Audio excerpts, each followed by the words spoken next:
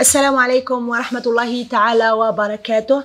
ظواهر جوية من زوابع رملية أمطار رعدية ورياح قوية تميز اليوم الاثنين 28 نوفمبر الولايات الساحلية الوسطى والشرقية للوطن الولايات الداخلية الشرقية وكذا الولايات الجنوبية. وعليه يصدر الديوان الوطني للأرصاد الجوية تنبيه من المستوى الأول حيث أن الولايات المعنية هي كل من من عنابة بجاية تيزي وزو الجزائر العاصمة تيبازا الطارف سكيكدا سطيف باتنا أم البواقي قسنطينة خنشلة ميلا بسكرة تبسة قالمة سوق هراس عين صالح وولاية برج باجي مختار.